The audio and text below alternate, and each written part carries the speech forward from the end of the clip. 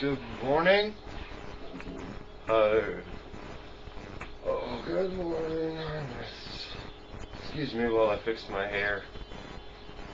Just, just a minute, just a minute. I got it. All right. There we go. Better? Does that work? Yeah, I think. I think that'll do. Getting pretty chic today. Uh,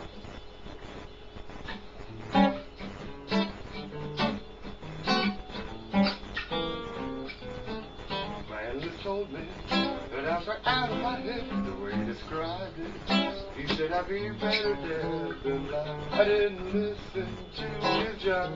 I knew was all wrong, and I knew that he thought I was crazy, but I'm not so blown. Man was told me that I was out of. He said I need treatment, but I'm in that easy leg. He said I was the type that was most inclined when out of his sight to be out of my mind. And he thought I was nuts.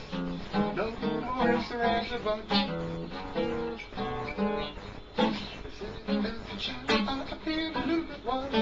But I knew what was happening, I knew I was a genius. But so strange you know that you're a free. I knew that this was meant to be. Little children supposed to tough. That's why I went and got into the locker one night. Parents got frantic, didn't know what to do, but you know I saw some crazy scenes before I came to. Now you think I was crazy? I could have been over three, but I was swinging. They all laughed at Beth.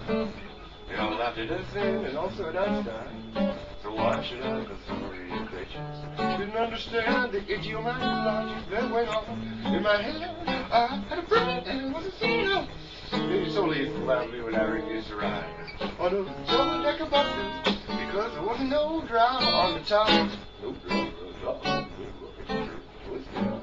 City, you know what I'm saying.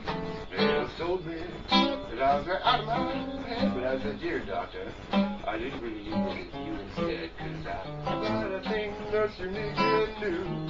Prove that I had that last laugh on you, cause instead of one hand, I got two.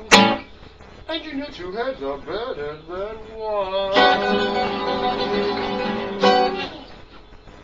Of course, as you know, every man has two heads. Just only enough blood to use one at a time.